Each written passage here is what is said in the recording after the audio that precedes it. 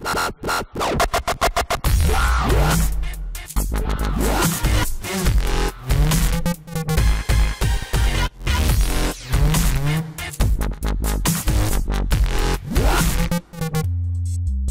everybody, this is Christian Buckley doing another Microsoft Buzz Chat interview, and I'm here today with Mr. Chris Slemp. Hey, Chris. Hi. So, folks that don't know you, why don't you introduce yourself, who you are, where you are, what you do? Okay, well, so this is profiling Microsoft employees, right? So Yeah. I guess I ought to talk about my Microsoft creds, I suppose. Uh, I've been at Microsoft about 20 years, so this was my first real job, really, out of out of college. Um, but I think most people know me as probably one of the biggest Yammer fans in the world um, because I was I was running the Microsoft Yammer network for about four years there. Um, I took um, I took two years out, and I think that's about where we met, right, Christian? Yeah, I think we ran into each other while you were doing the network stuff. And for folks that don't remember, too, is that after the acquisition, and Microsoft had various community activities in different places, and they kind of pushed all of that activity over into Yammer. And a lot of those communities are still there and thriving and doing well. But of course, then they went, they wanted to expand beyond that. They built out the tech community, um, which is on a completely different non Microsoft technology Yeah. Yeah. We Don't don't don't send me down that path. I, Yeah. I know. I know. Yeah. But uh, but anyway, yeah. So you were you were gone for a while. So you, you went out into industry. I had the yeah, I had the startup itch and uh, and and scratched it good. So um, so I was with Carpool Agency for a couple of years, and uh, and I learned a massive amount in two years, and I'm so thankful for that that bunch there, uh, Jerem and, and the gang. Um, I, I learned a ton. Um, but uh, circumstances changed. I found an opportunity. This was actually so being a customer success manager, is- which is my current title um, is something I had been coveting for years. So since I first met the Yammer team, they had customer success managers. And I just loved the concept of the role. It was kind of that sweet spot between techie and customer facing and that I just really loved. And so I kind of fashioned my role within Microsoft to be like that uh, for, you know, for Microsoft employees essentially. You know, it's interesting is that actually came up uh, in a tweet jam today conversation talking about how uh, you know with the COVID quarantine going on and and the work from home that it, it has really again surfaced the reality is that organizations need to have that CSM Yep. function. Yep. Uh, it is just so important. There's you can't just go and uh, and maybe you could give us a little background of what that role is and how you Oh, yeah. because I, my point that I made in that discussion was you cannot simply rely on the tools to put in security protocols and compliance and then just assume that hey everything is gonna gonna work you know Right. There's Right. humans involved Well, and, and not and not just that it just works, but that uh, that people are actually going to use it, right? Right. So and get the most value out of it. So, you know, I mean, let's so we can actually fast forward a little bit to what I'm doing now because it kind of best explains it. So. Um, I found found a position. They had they created a bunch of these customer success manager positions all over the world, uh, back about almost three years ago now. And uh, my wife is Scottish. There was a position in based in London, but I said, "Hey, can I live in Scotland?" They said that'd be awesome, and so here I am. So, what I'm doing is looking after all the public sector customers that we have in Scotland. That's kind of my remit, and uh, with my kind of um, hero customer right now being the NHS for obvious reasons. So that, that's the National Health Service here. So. Um, so my job is to make sure that they are using everything that they own. And most people, so get back to where I had why I headed down this path, let's be honest, most of these people, especially in the public sector, were buying Office 365 to get cheaper email. Right? And it was just cheaper to, to run it on Exchange You know, Online than it was on premise. email and most people that don't know that too that are kind of uh, latecomers on the, the cycle but yeah email was for years was the primary motivation for organizations to move over to office 365 Right. Right. And So- and to be honest, that hadn't changed very much, especially in, in cash strapped organizations that hmm, how, how to say this delicately um, weren't particularly innovative, right? They were so a lot of folks in public sector like they're just trying to get their job done and trying to do it efficiently, and they do hero work. Don't get me wrong, but they're very cost conscious, and and so that's really what they were trying to do in a lot of instances. COVID has changed all that. So um, this has been another wake up call to them to say, wow, we, we need to, we, we have to transform. We're being forced to transform and some of them don't even know what that means or looks like right now and so my role is isn't really about technology i spend a lot of time talking about it and helping them through that and training and those kinds of things but it's really the people side of the change it's the culture change it's the mindset shift it's the you know how do we i, I host hackathons right at, at a customer site you know bring customers in and say kick IT out of the room, or if you can, you know, you want to be a wallflower and watch, that's great. But let's get the business people around, show them the basics of how to use some of the toolbox, and turn them loose and say, okay, what is what are the business problems you're facing? Let's focus on the business problems and let that lead the conversation, not the tools. Yeah, it's all about the tech intensity. Just of, you know, I, I know I that's I know Satya Nadella brought that up, but we had the the partner conference, uh, you know, earlier this month, and uh, so that was the new verbiage, the the new term that used, which is really kind of the you know his uh, uh, Satya's description of the kind of the evolution of the the business transformation. You know what what you're talking about. It's yeah. uh, getting it's it's beyond just hey deploy it and we have these other tools, but to get people thinking about you know the individual or team based transformation how do we start leveraging this to do more to do it faster to do it better yeah. um, so so really starting to uh, uh, you know not not just expect it to come in put something new on my system and then mm-hmm. back away and i just i figure things out but otherwise work the way that i've always worked right. but to, to really embrace the transformation yeah well if you want if you want a new uh Satya buzzword um, or buzz phrase. Uh, this this is what we're talking about um, most often right now. But I do love it because it speaks to my role so well. So what he talks about now is respond to this, this crisis, right? Respond, recover, and reimagine. So people get they they get it right when you're saying, okay, I got to respond, I got to react, I've got to turn on Teams where I was dragging my feet before. I've got to turn these things on to respond to what's happening here. To people needing to work at home. Now we need to recover. So now we need to kind of make sure that we're doing it right, make sure we got the security in place, make sure we got our governance in place, those kinds of things. Um, but now we have an opportunity to reimagine as well because there's a new normal and we're not even we're still not even sure what that looks like but we need to be able to reimagine really think differently about the way we've done business. Which makes sense uh, you know for years and years. And as you know my, my background in the sharepoint space and working with migration and administration tools with these these isvs we'd always talk to clients about this to say look it's not just a the, the term that's used in the industry is the lift and shift. It's right. not just moving what was broken, worked okay, but not optimized over to the new stuff, but still not quite working, not optimized for that. You look at a migration as an opportunity to go in and relook at your data, relook at your governance, your compliance, your security, kind of all those aspects. Are we meeting uh, our, our, needs there? What is our change management policies around this? Um, but then to also go and look and say, okay, this is how we're doing it today is this the best way of doing it are we fully yeah. leveraging the technology that we so yeah. what's interesting chris and I, I, know i think we've actually talked about this years ago um, i started my career as a business analyst one of the things i used to always talk when i early on as i started presenting uh, going around to conferences i would talk about some of those earlier early experiences as a ba i'd say well where, when's the right time to uh, to introduce new technology when you're trying to define business outcomes and, and, and capture requirements with customer group. Because if you ask them for the requirements without them being aware of the new technology that you're thinking about implementing, then they'll give you their requirements through the lens of their current understanding of what the yeah. system can and cannot do.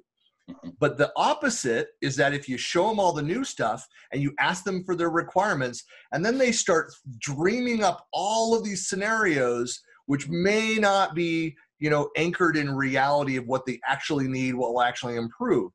And the right answer, you know, is, is there can be a right answer. It's more of an iterative approach to those things to move people through. It's it's the define what it is. Here's what here's how we improve this get them up to that new level and say, all right, now based on your where this is, let me show you what else we could do. Have you let's start exploring kind of the next phase. I mean, I mean, I look a lot of the CSM role as that. As, yeah. It's a BA function in some regard. Yeah, yeah, I would I would say so. I think um, I think we do try to get up to a more strategic level, right? To to say how you know so, uh, Power Platform is a great example, right? Um, so, I was thinking about this earlier when you were saying, um, you know, how we we think of what we currently have, our legacy, uh, our legacy, and we just want to lift and shift and, and move it in rather than rethink it.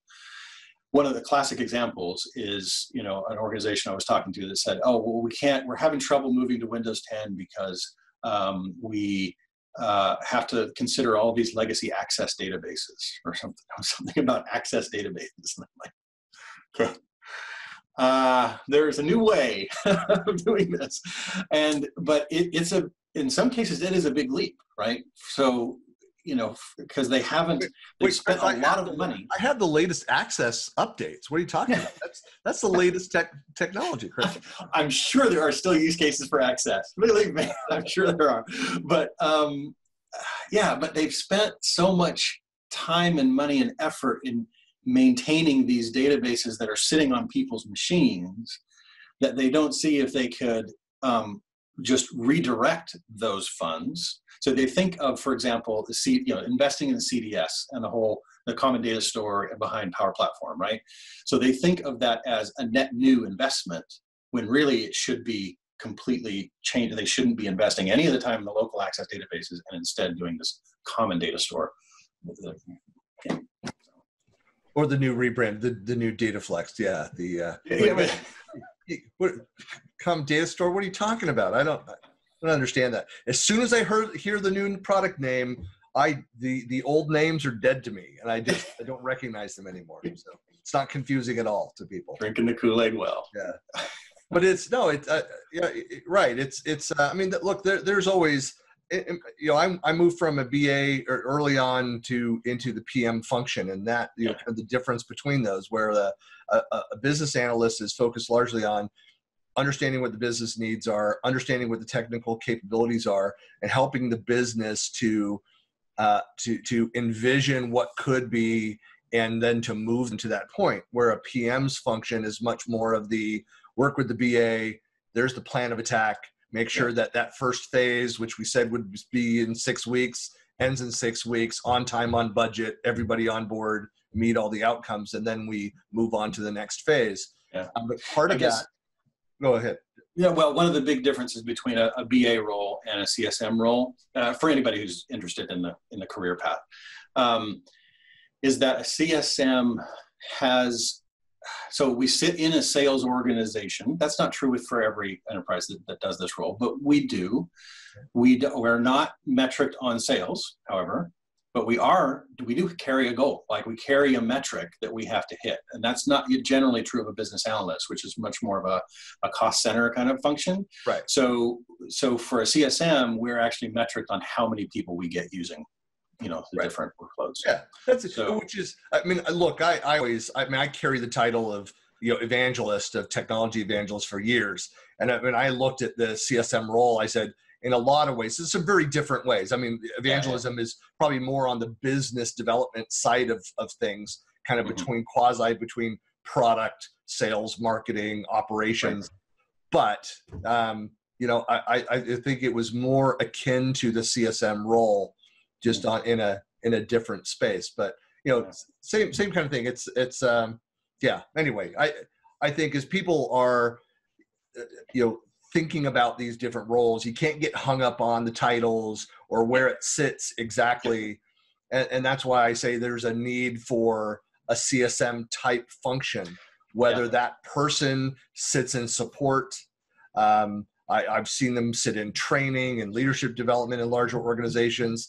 And then there's other organizations where they could be an office manager slash marketing person slash CSM they're in a smaller place they're doing kind of all of those different roles. Sure. The important thing is that you have somebody that's looking at that and asking those questions of you know are we getting the most out of what we have in place? How can we improve?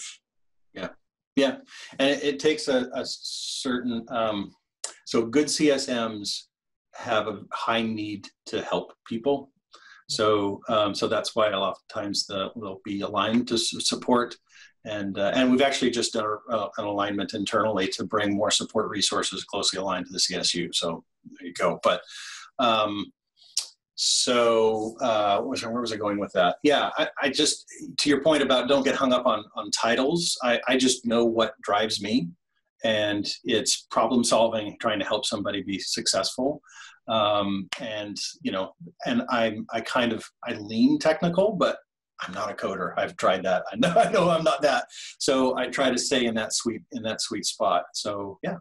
So it's a, it's a good place to be. I mean, the, the Microsoft space. Look, there's obviously you still have with build and the dev focus, and there's you know, it, you know, Satya again a couple years ago. Like you know, every company is a software company mm-hmm. because you need to go in, and, and and a lot of that is the you know the, with the Power Platform. A lot of these power user um, some are referring to them as uh, uh, rather than power user as kind of makers that mm-hmm. maker you know way of thinking of go and solve problems on your own. I mean look i've worked in companies i worked years ago with with cisco and others where a business analyst was a very senior role and they were going in and building uh, uh, you know piloting. They were doing a lot of that you know just one step below the engineering team and kind of build out the solution so they hand over something that is you know two thirds of the way complete and saying go make this so that it scales and can be supported across the organization but here's what it will look like and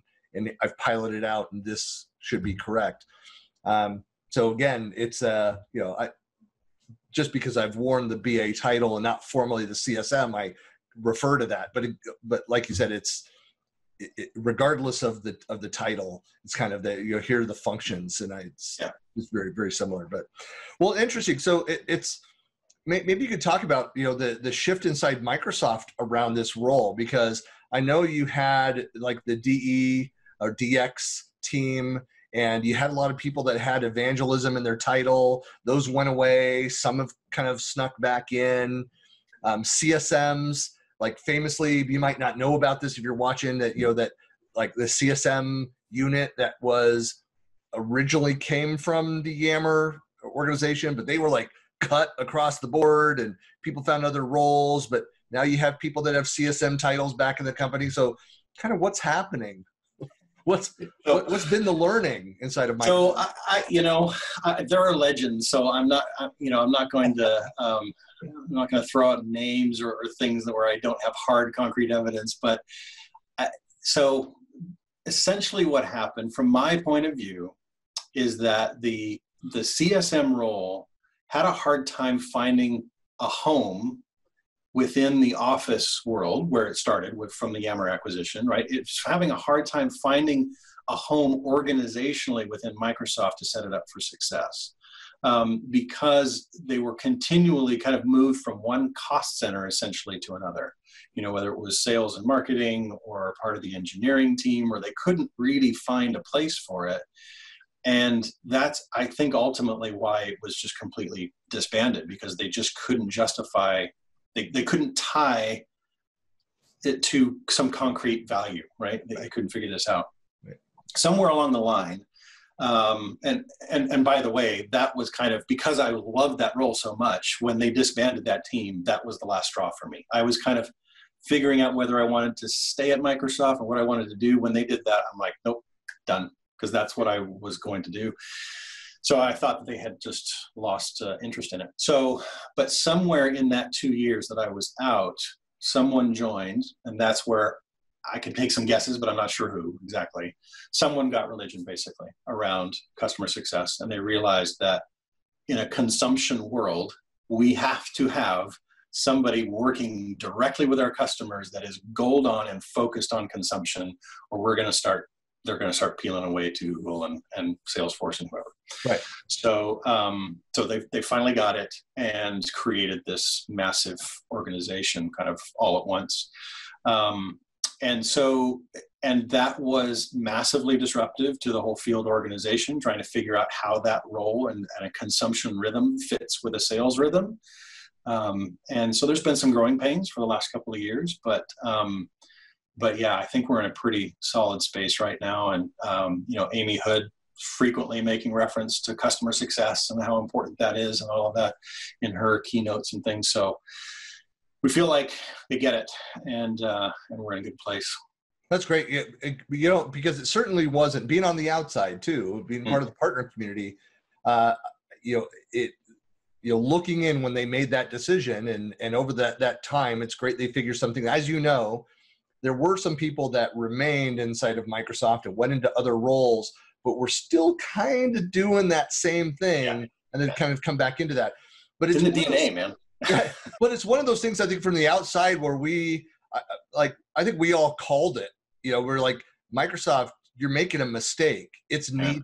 Like, I get it. If it's not tied to specific, you know, KPIs, and if they can't measure it you know and, and i just think that they took the extreme decision without really thinking it through. There there's uh i mean which which happens and and they've learned from that and they've you know and it may be that that the end goal that they finally reach do a smooth transition they just needed to cut and start over and you know fully plan it. I, I don't know. I don't know that piece how the transition happened. I'm just glad it did. Yeah, yeah, no, it's it's it's all good. It's you, you know that change is happening within Microsoft. I mean, one of the indicators. I hear I'm wearing my, uh, you know, the I had like the the partner discussions and stuff this morning, wearing my Build T-shirt. Um, you know, we were we were talking about how you, you know when changes happen inside of Microsoft is you look at what they share publicly about like what the uh, commitments are at the individual yeah. and team level after the fifth when the start of the fiscal year when the internal meetings have happened and they've said, okay, for the next fiscal year, here's what we're focusing on. And when they started focusing on uh, consumption and adoption and other metrics, which you know were foreign for all the time, and and, and being part of the original, the, the, the back towards the start of what is now Office 365, and you know when I joined in 2006, was there for three and a half years, and kept saying you know you're you're focusing on selling the net new licenses when they renew their EAs, they're not going to renew because they're not using it. There's not not seeing the value. It's going to hurt us. We need to help them to utilize what they have, yep. and it took a while. So when you started to see those metrics, you know, on the the uh, metrics for salespeople and the CSMs and and all this, I, I think it was, and in the product team as well. It's not just about like here's the five new features that I helped launch in the last year.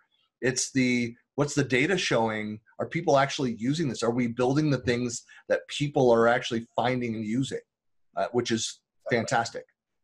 Yeah, yeah, and it, you know, and it allows me to focus on on what I want to focus on, which is solving people's problems and not worrying about the, the sale. Right, I, I, can do the right thing for them. Right. So, well, so I know that. Uh, so you're in a beautiful part of the world. Um, I'm very envious of that. I love it up there. I, I was thinking of you just an hour ago um, when I was having a uh, an epic fish and chips supper. So, oh, love that. You know, with a, a real piece of fish. Oh, oh, yeah, yeah, I'm sure. No, and for people that don't understand, not too, the fish and chips you get in the states. Like, no, no. So I was in. Uh, so one, I just to, to my bona fides here is that my uh, my maternal side of the family there were uh, my so my grand my maternal grandfather Richardson, 15 generations did not move from Edinburgh. So, like, oh, wow, there you go. Backed 15 generations uh, my 14th great grandfather or whatever or 15th great grand so like you know more than that whatever changed the name from Reichison to Richardson I don't know why need to go and dig into that Um, but love the area. As you know, I, I mean, we lived in Seattle for 12 years, and so some similar weather patterns and stuff. I love that. I appreciate that. But the last time I was there uh, with my good friend Mike Watson, who was living there in Edinburgh, and we did uh, we drove up north, and he was in the process of renewing his license, so I had no license, so I had to drive um, some narrow roads up in that part of the world. Yes. And, Yes. But we went up into the, you know, up into the, the, the locks and drove around, and it was just, just amazing. Uh, Yeah. Loved it. Loved it. And uh, would love yeah no people uh, you know for the first several years people would ask me what i miss about the states and honestly i mean there, there's food things i could go into you know i don't want to bore everybody the, the one thing the answer that interests most people which is the honest truth is the main thing i miss the most is wide well maintained roads yeah. so Well, hey, I, look, I, I so I live in you know in Lehi, Utah, and as you know how Oh. wide the roads are here. It, every time I go to like Seattle or something, I complain these roads are so narrow. you know you know no, Everything for people that don't know too. In, in Utah, the roads are really wide because when they developed the area, it was it, uh, like it when they started. The pioneers came over. It was after the first of several Chicago fires, big city fires. So they built them extra wide, not because they envisioned the future traffic. It was fire breaks. It was. i did not know that to be honest Yeah. I did not know Yeah, so they learned those lessons in the city planning, and it just worked out that you have like six lane roads and greater in downtown Salt Lake City is because Yeah. of a lot of those They- lessons. planned it that way from the chicago wow Yeah. there you Yeah. Well, well, great. Well, Chris, uh, you know, people want to find out more about you, get in touch with you. How do they find you? Are you doing stuff in the socials? You know, it's it has definitely uh, decreased lately. I have to be honest with you. It's just just been it's been manic. Uh, you know, learning a whole new, actually adjusting to working in the field in the Microsoft field was even a bigger adjustment than working to a new country. Yeah. adjusting to a new country, yeah, it, it's I've a, heard it's very different. it's a totally different world. So And, and there are people Um, that are in the long time in the field at Microsoft, and they go over to corporate, and they're like, "I don't like this," and they want to get back in the field. Yeah, it's just it's a different personality. Yeah, it is. Yeah. So, um, but I am more active on LinkedIn now than I am on Twitter. So, um, so just search. I don't think there's too many Chris Slemps on on uh, on LinkedIn, so uh, you'll be able to find me there.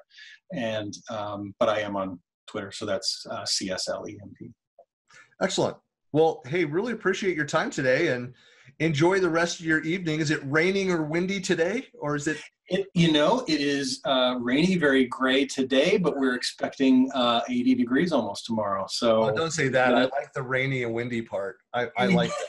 we get we get a day of summer, and then it's back to Yeah, no, I, I look. I've been there in the summer and just beautiful. Uh, I, I, I prefer that, but uh, you all enjoy the countryside there. I know I, I, I very envious. I look at the pictures when you guys get out and travel and post stuff to the socials. So um, go, go have some fun. But uh, thanks a lot for your time today. yeah. Well, likewise.